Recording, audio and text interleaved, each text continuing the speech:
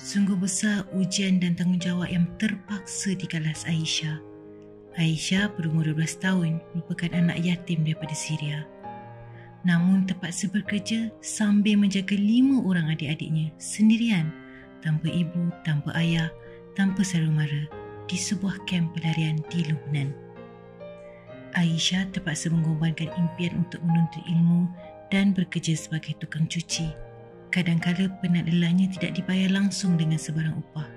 Suka atau tidak, Aisyah tiada pilihan. Sudikah anda membantu Aisyah?